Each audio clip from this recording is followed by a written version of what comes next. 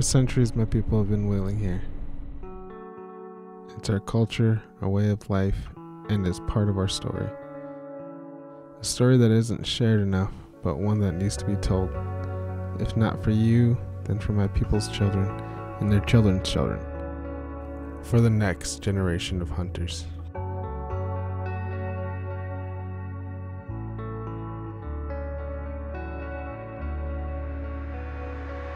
This is home, Point Hope, Alaska. My people have lived here for thousands of years. We're hunters, and right now, since it's spring, it's whaling season. There are 13 whaling captains in Point Hope. Love being out on the ice. This is home. This is who we are. It's Tiki Elmiu. I'm a Kalmuktuk, which is the one of two clans left. There's the Wessex Cox and Kalmuktuk, and we're part of the Kalmuktuks. A lot of long lineage of whalers. I was always told that we were the only community whaling much, much longer, much, much more before than commercial whaling.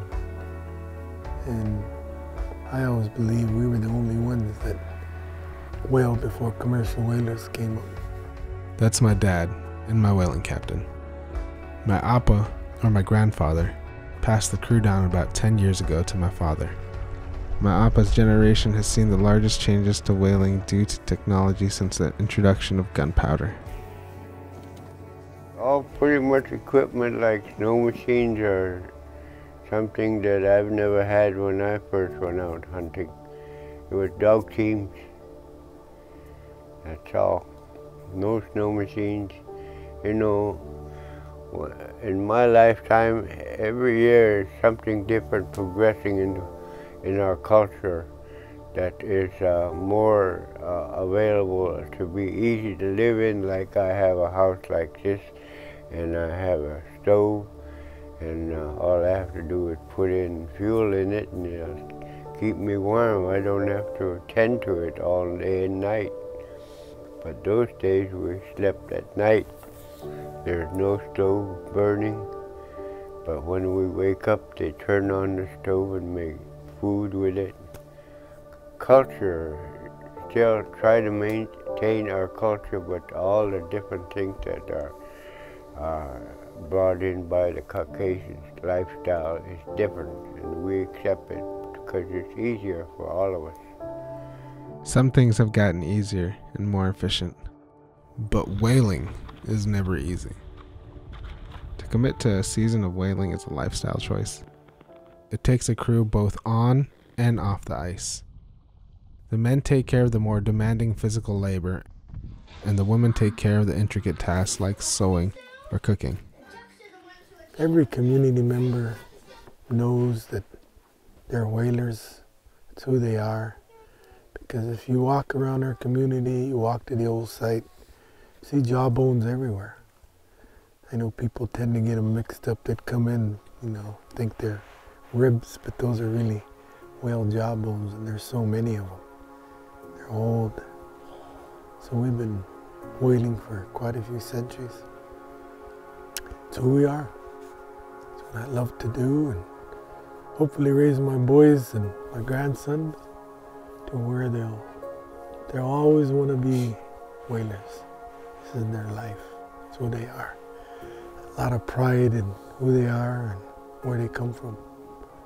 I always tell them you're Tiki Elmiu. Be proud of it. It's just a good life. Good life. It's different every year, you know. Some years you you can't even go out hunting because uh, you get sick. You get a bad cold or get pneumonia or something in the waiting season. Then your crew's out there hunting for you. But they accept the fact that they're hunting for me and, and for the community. And if they don't go out, they won't get nothing to eat for the community. I even made a sentence out of spelling the word whales, W-H-A-L-E-S. I made a sentence out of that. I said, whale help all living Eskimos survive. Ava doesn't hunt anymore, but we do for him. And hunting starts at sunrise.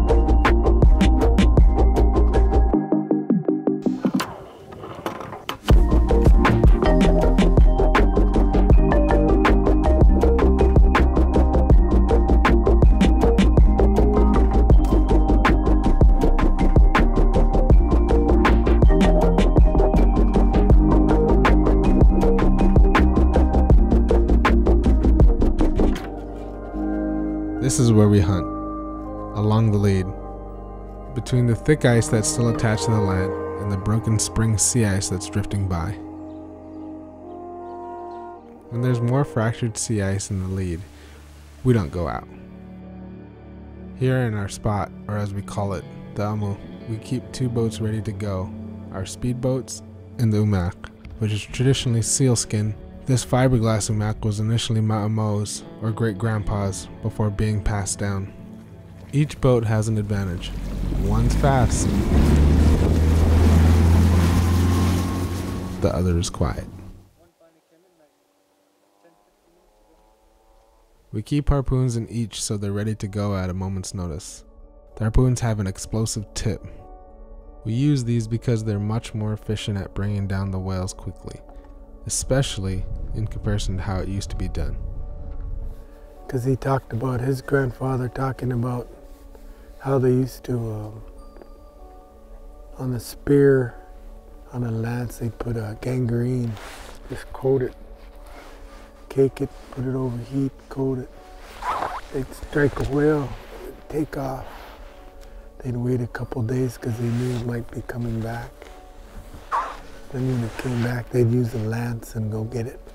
The methods have changed, but at the end of the day, it's about food. It's about our culture. And after waiting on the ice, eventually, the hunt is on.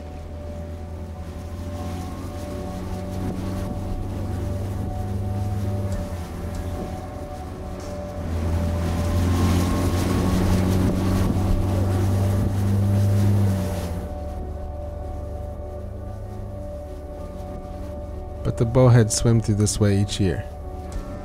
They know they're being chased. They avoid us for as long as they can. Most get away completely. They're masters of their domain.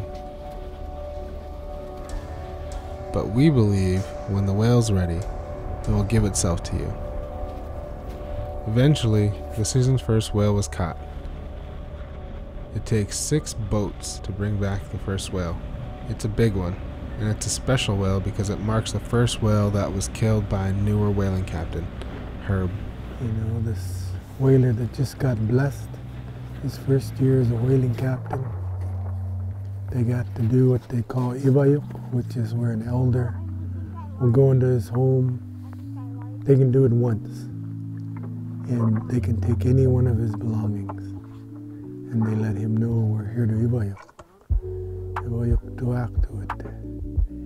And he has to allow them to pick what they want and take what they want. But we view it as your elders have such strong prayers that you're going to continue to be blessed. And so you always have that open door, and you do it from the day you landed the whale until the day of the first day of the whaling feast. They can come in, but they can only come in once. And they have to be elders, pretty much older people. Like when I was blessed to land a whale, my wife and I, they took like him a snow machine, four wheeler, shotgun, sewing machines, furs, you know, to sew with. And one of the elders asked me to go buy some. She wanted some a new dish set, so we went and got that from her from the store. One elder asked me to make her a meat drying rack, so I did that. Just a lot of things like that. Um, If I look aside, the first priority is getting back a 55 foot long bowhead whale so we can get it up on the ice.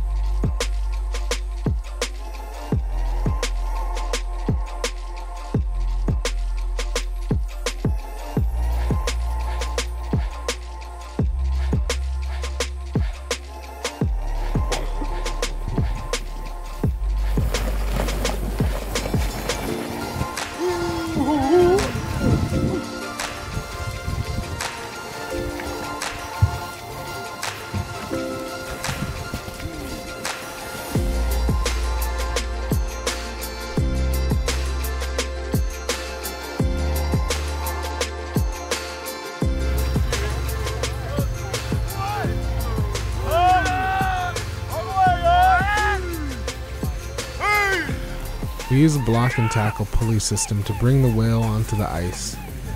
With a whale this size, the process of getting it onto the ice can take all day.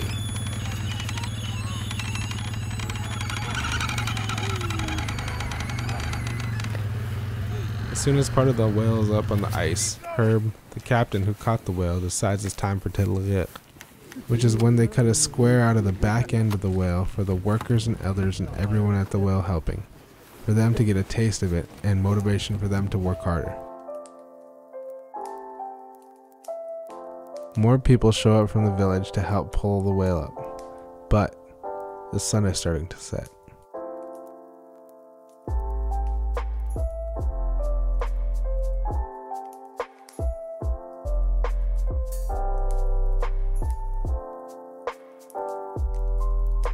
Other crews keep hunting into the night, hoping to catch another whale.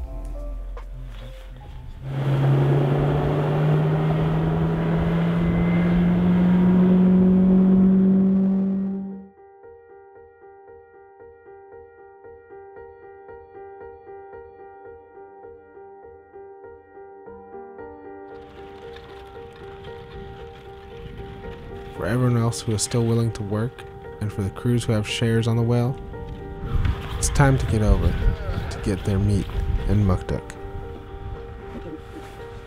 This is a whale that they catch when they're cutting it up.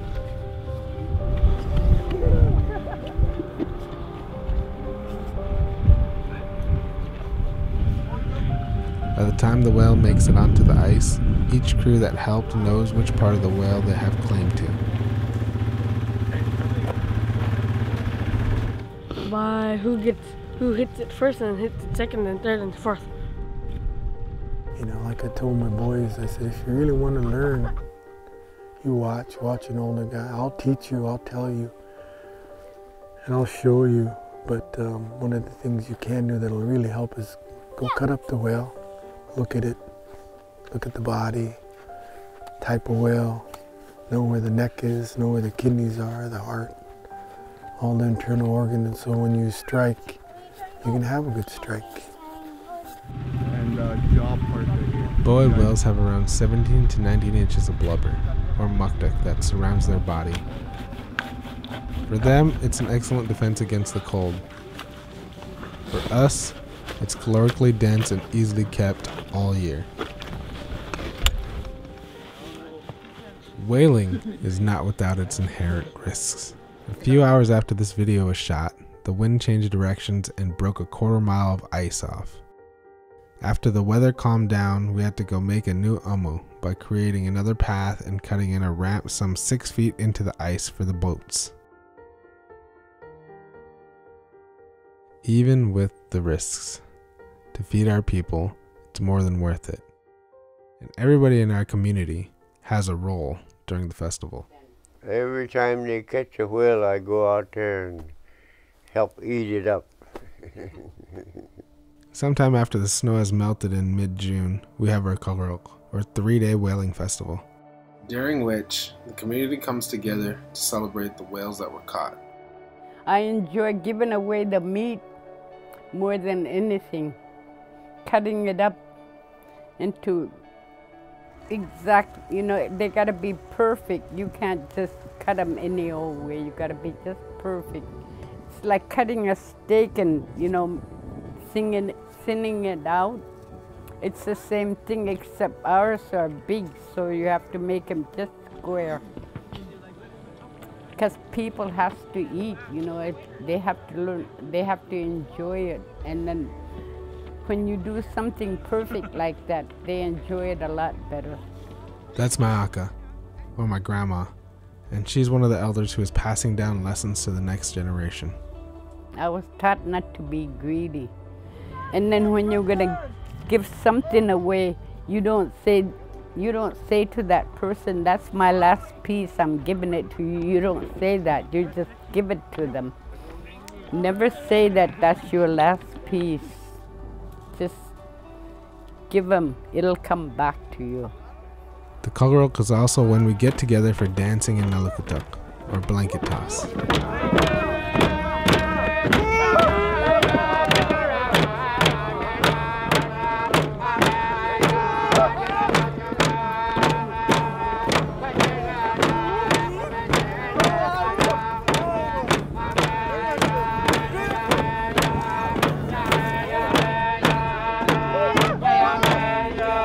After days of eating and seeing loved ones, the Kagarok culminates in the gym, where we hand out the meat and muktuk to the community. At the end of the day, all of our work led up to these moments, as it was for our ancestors. Our traditions are our lives, and I know that if they're to survive, they must be passed down. You young folks, try to carry on that tradition. Listen, absorb it, keep it with you, because we always do everything orally. We speak it. So continue to speak it to all your children, what it's about, and everything's going to be just fine. So, I dedicate this video to my daughter Lacey's unborn children. May they continue to know the lives that have been so good to us. Hiku.